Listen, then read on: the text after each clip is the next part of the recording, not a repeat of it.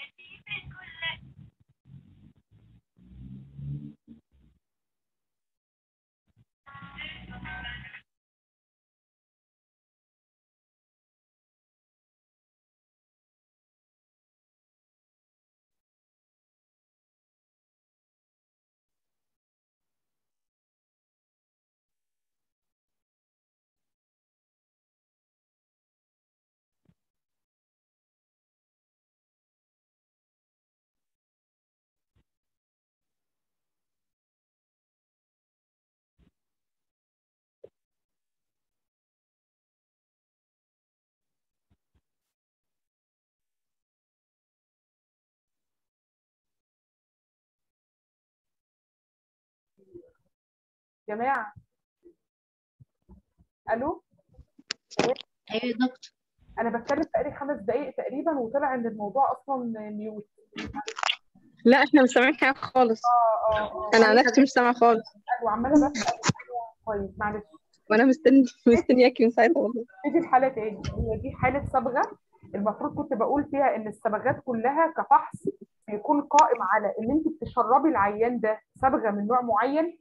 أو بتحقنيه صبغة من تحت عشان أشوف ال rectum وال lower colon آه وده لو أنا شاكة إن ال tubular structure ده كله فيه مشكلة ما.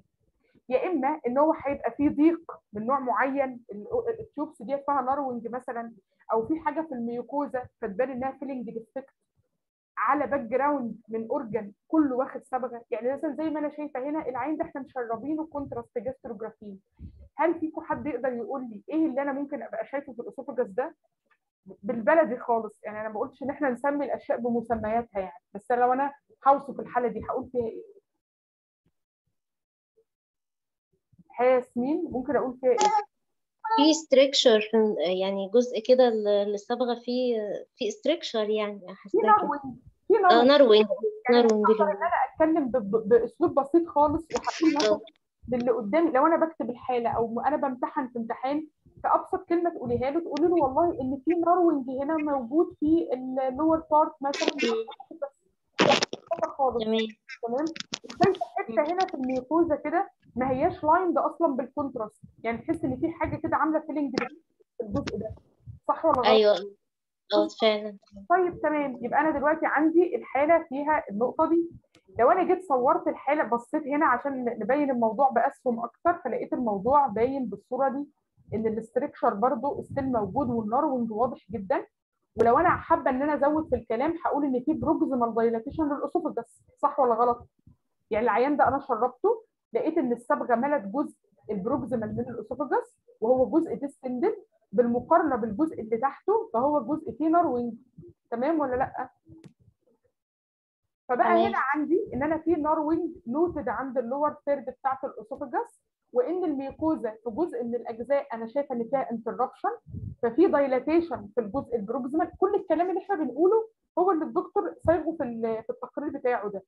فده معناه إن ممكن يكون في focal esophageal lesion وطبعا معظم الحاجات اللي ممكن تطلع في الاسوفاجس في سن كبير زي الحالة دي بتبقى غالبا نيوبلاستيك فهي دي فكرة كل فكرة الصبغات وطريقتها أو إن أنا أطوعها إزاي للتشخيص بتاعي. جينا مثلا في حالة تانية. لو أنا جيت مثلا لحالة زي دي إيه اللي أنا شايفاه في الحالة دي؟ الحالة دي مثلا بتشتكي من جست ايبيجاستريك بين ثمر الخضراجي مثلا. لو تبقى معايا في الحالة دي يبقى تمام. أيوه مع حضرتك. كده أو أنا شايف آه، برضو في ال في ال esophagus في زي يعني في آه، يعني filling defect كبير في ال في ال lower third ماشي. انت قصدك على الجزء ده ولا قصدك على الجزء ده؟ آه آه أنا أنا قصدي على الجزء ده ان هو يعني الصبغه ماشية في حتة ضيقة ضيقة خالص لنار آه.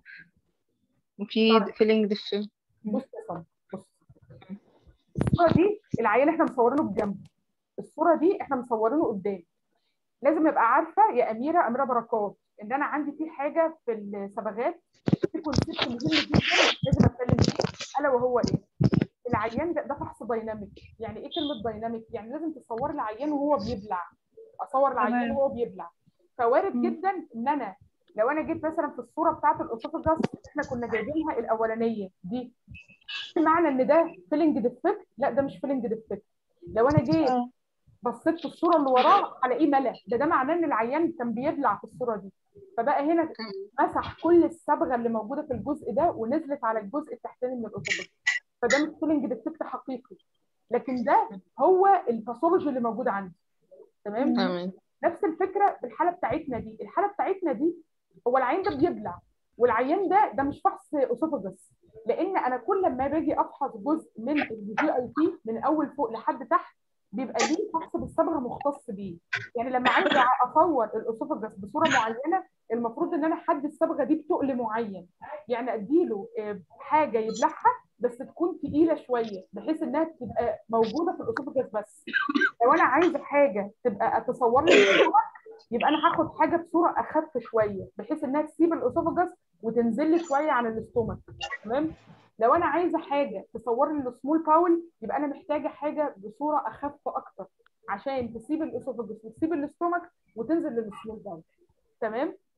تمام يا فهنا العيان آه ده ده ده مش فحص esophagus هو العيان ده هنا بلع ونزلت الصبغة منه ونزلت ال stomach هل في أي حاجة أنت ممكن تقدري تقوليها لي من من من يعني من واقع الصورة اللي قدامك دي؟ الصورة دي أوضح. أنا هو أنا أقول لك. العيان ده عنده الجزء اللي موجود ورا ريتروكاردياك ده الحتة اللي في النص دي. ده عبارة عن إيه؟ دي آه، جزء من آه جزء من الصوم أنا إيه اللي هيجيب؟ هو الاسوفجس بيبقى شكله كده المكان ده مكان اسوفجس حلو. بس أنا اللي جيت جيت لقيت في المنطقة ال retrocardiac دي آه، مم. ال rugae ال rugae بتاعت ال stomach مرسومه بالصبغه دي ال rugae بتاعت ال stomach. يبقى إذا الحاله دي حالة إيه؟ حالة ال hernia. حالة ماشي؟ أنتوا فهمتوا كل. أنا بس كل ال- ال- اللي, اللي ما يهمنيش خالص التشخيص. بأكتر من إنكم تكونوا فاهمين ال concept اللي ماشي عليه الحالات. ولا أقل نفكر بصورة scientific يعني مثلا حالة زي دي أنا عايزة أدي العيان ده صبغه فأنا قمت محقناه من تحت يعني اديته enema اديته بقى مش شربته لا ده أنا اديته الصبغه من تحت بحيث إنها تصور لي ال colon بس. ايمان كير معايا آه طب أنت أنا العيان ده دي حالة barium enema أو مش barium enema هقول إن هو محقون ب Gastrografin من تحت. أيوه في حالة زي بتاعتك كده.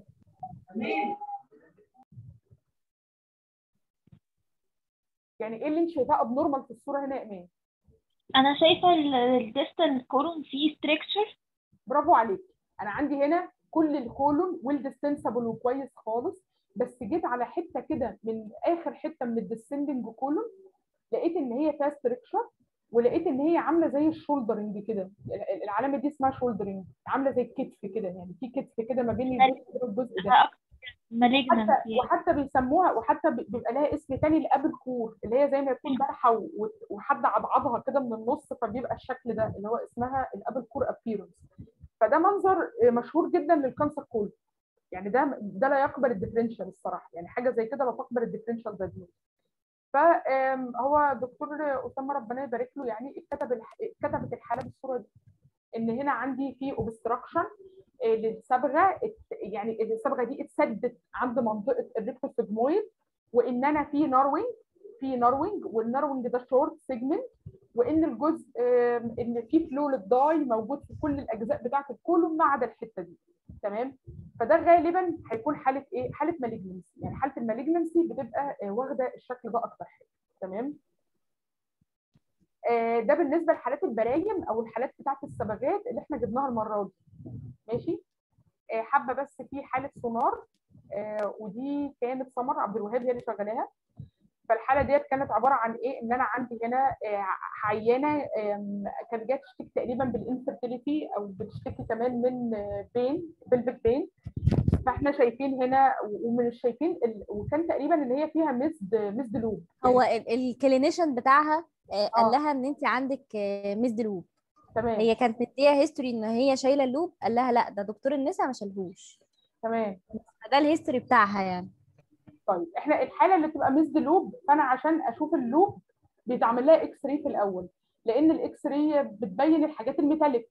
فأنا لو عندي حاجة metal فالمفروض إنها هتبان في ال X-ray فهل هنا في أي حد شايف أي حاجة في ال X-ray؟ مفيش حاجة. ال X-ray دي فاضية ال X-ray دي مفيش أي حاجة في ال pelvis العينة ديت جت عملت الصورة دي فجه المنظر بالمنظر ده إن أنا شايفة حاجة جوه ال endometrium المفروض إن الحاجة ديت hyperechoic شوية آه، موجودة واخدة ال central aspect بتاعت ال endometrium بالظبط ما هياش موجودة ولا متطرفة ولا أي حاجة. آه، فإحنا قلنا إن هي ديت ممكن تكون حاجة اسمها calcific endometritis يعني هي مش أنا يعني مش أنا اللي قلت الصراحة هي سمر ربنا يكرمها برضو دورت وإن هي برضو اتكتبت بالطريقة دي إن ال uterus ده فيه hyperechoic line موجود في ال endometrial cavity وإنه ممكن يكون ليه acoustic shadowing أو حاجة فده نوع من أنواع ال endometritis اللي هو اسمه calcific endometritis it is not loop يعني الحاجة اللي موجودة دي ما هياش ال loop أنت حابة تضيفي حاجة فيها سمر؟ هي الصورة اللي عليها علامة بالأزرق دي كانت transvaginal والصورة التانية كانت transabdominal آه. بس ما زي ما انتي قلتيها كده يا دكتورة حكمة الله ينور. هي ديت بالنسبة لحالة السونار اللي إحنا جايبينها النهارده. في حالة آه تانية برضو ديت إحنا شفناها في العيادة. آه وحابة برضو ان أنا اقولها لكم لأن هي فيها شوية إيه ساعات ناس بتقع فيها كده.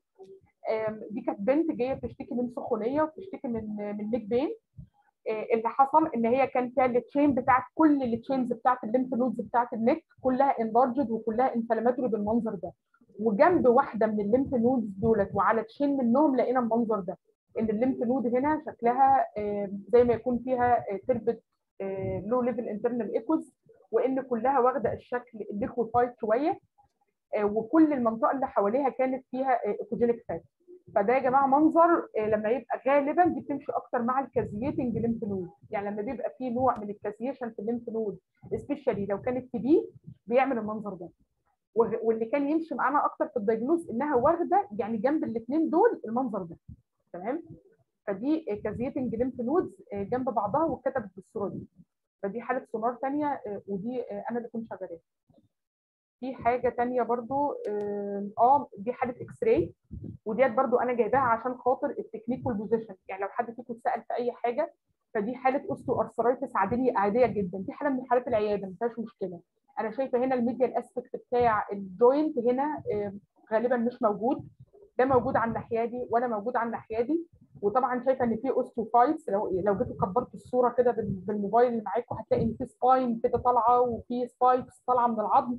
فكل ده دليل إن في osteoarthritis اتعمل عندي ال view ده وأنا السر إن أنا جبت لكم الحالة دي إن في حد سألني آه، وأنا سألته في العياده هو ده اسمه إيه في ال- في ال views فما عرفش فدي حاجة اسمها skyline view skyline view الفايدة بتاعته إن هو بيبين لك ال patellofemoral joint يعني لو أنا عايزة أبين ال space اللي موجود ما بين ال patella وما بين ال lower aspect ال femur أكتر واحد فيه هو ال skyline وده بيبقى منظر العيان في ال skyline view هو بينام بيبقى ال patella بتاعته أو ال knee بتاعته مقابلة للكاسيت وبيجي ال projection بتاعه بالمنظر ده. تمام؟ فهنا طبعا أنا في obliteration أو complete obliteration تقريبا لل patellofemoral joint ده أحسن واحد يبينه. تمام؟ آه ما افتكرش إن فاضل حالات تاني من الحالات اللي أنا مجهزاها. تقريبا يا رب كده أكون قلت لكم كل الحاجات اللي أنا مجهزاها النهارده يعني. ما فيش حالة سونار تانية يا نيك؟ حالة البريكيو كيفاليكس انت قصدك على البريكيال كيلفت سيست صح؟ آه صح؟ لو كنت. محضراها يعني آه ما ما لحقتش احطها يعني اتشغلت بصراحة في حاجات كتير فما قدرتش إن أنا أحطها بس هحطها لكم بإذن الله مرات جاية إن شاء الله يعني المرة الجاية آه إن شاء الله وأنت ما كنتيش بعتها لي يا سمر يعني أنا دورت برضو على الموبايل البتاع ما ما كنتش ما كنتش بعتها يعني كنت بعت خلاص معلش يا حكمت آه. هبعتها لك حاضر بس ف- فبس هي دي الحالات بتاعت النهارده. ولو في أي حد ليه أي comment على أي حاجة آه، يقول لي كده وأنا لو عارفة هرد يعني. يعني حالات جميلة بصراحة يا حكمت يعني ربنا يكرمك بس مش عارفة أوقف ال record إزاي بقى ثانية واحدة.